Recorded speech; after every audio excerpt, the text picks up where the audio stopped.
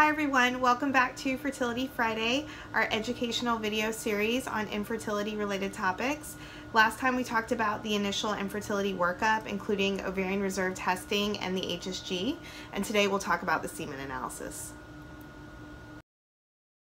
A semen analysis is one of the main components of an infertility evaluation.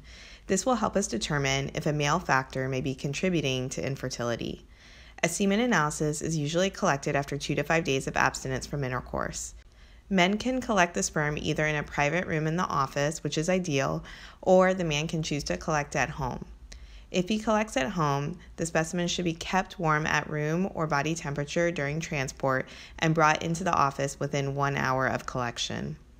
There are four main parameters that we assess for in a semen analysis volume, concentration, motility or how well the sperm is moving, or morphology, the shape of the sperm.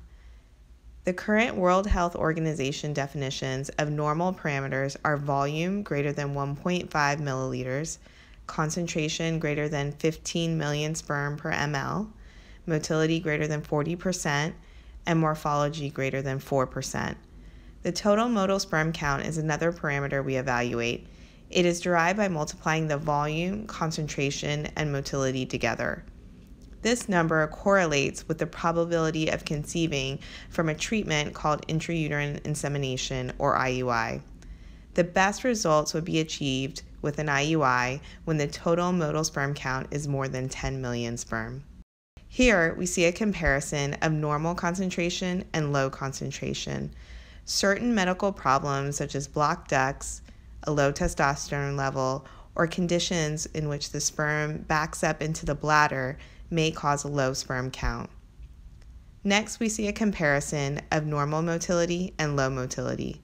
A low motility may reduce the chances of the sperm reaching the egg. A low sperm motility suggests dysfunctions in the testes or epididymis. Lastly, here is a comparison of normal morphology and low morphology. Morphology refers to the shape of the sperm. The sperm is made up of three regions. A normal sperm has an oval head, a slender midsection, and a tail that moves in a wave like motion. Abnormal shape of the sperm can be due to abnormalities in the head, the midsection, or the tail, such as coiled tails or duplicate tails. Sperm that have an abnormal shape may not have the ability to penetrate or fertilize the egg. Thanks for watching. I hope you enjoyed the content. If you did, give us a like, comment below.